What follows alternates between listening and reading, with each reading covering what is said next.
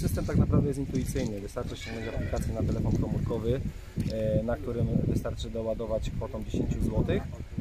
To nam pozwoli e, jakby realizować e, działania związane z rowerem. E, Pierwsze 20 minut, e, jeżeli chodzi o wypożyczenie, jest bezpłatne. Kolejne, kolejna minuta to jest 5 groszy. E, Zwrot rowerów jest możliwy w strefie rowerowej, w strefie miejskiej tak naprawdę całej. Oczywiście jest dodatkowa opłata związana z poz- pozostawieniem roweru poza strefą.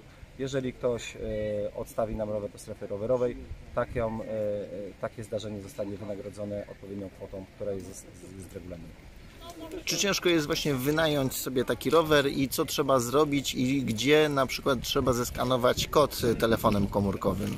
E, Ko, e, tak naprawdę ściągamy aplikację, e, telefon, telefon do, dotykamy do, tak naprawdę do, do miejsca QR kodu, skanujemy kod, za pomocą QR kodu rower zostanie odblokowany.